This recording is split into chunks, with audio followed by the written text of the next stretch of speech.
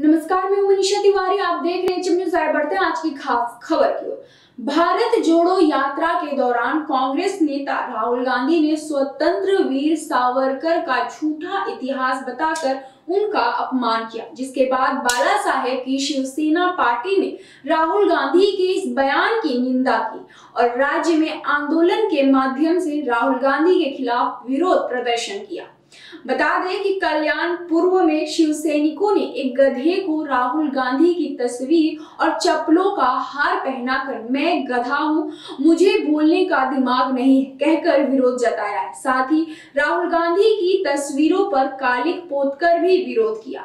यह विरोध प्रदर्शन बाला साहेब की शिवसेना पार्टी के कल्याण शहर प्रमुख महेश गायकवाड़ के नेतृत्व में शिव सैनिकों ने किया। है आइए सुनते हैं क्या कुछ कहना इस विषय को लेकर कल्याण पूर्व शहर प्रमुख महेश गायकवाड का।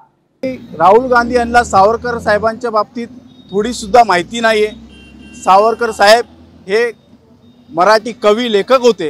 एकोणीसशे अडतीस साली साहित्य संमेलनाचे अध्यक्ष होऊन गेले. स्वातंत्र्य लढ्यासाठी स्वातंत्र्य चळव चळवळीसाठी जीवाचा त्याग केला जीवनाची जीवाचा संघर्ष केला आणि काला पाणी अशासारख्या सजा भोगल्या. त्यांनी स्वातंत्र्यासाठी संघर्ष करून आपल्या देशाला एक नवी दिशा देण्याचं कार्य केलं हे सुद्धा माहिती या राहुल गांधीला नाही आहे अक्षरशः राहुल गांधीजींनी हा मराठी लोकांचा अपमान केलेला आहे महाराष्ट्राचा अपमान केला आहे या महाराष्ट्रातच नाही तर देशभरात राहुल गांधीला पप्पू म्हणून का हिनवलं जातं? त्याचं कारण असं की ते बुद्धीने कमी आहेत. गाढवाची बुद्धी त्यांच्या त्यांच्या त्यांच्या मनामध्ये हृदयामध्ये आणि त्यांच्या दिमागामध्ये त्यांच्या बुद्धीमध्ये गाव गाढवाची संकल्पना आणि गाढवाचे विचार असल्यामुळे ते गाढवासारखे वक्तव्य करतात.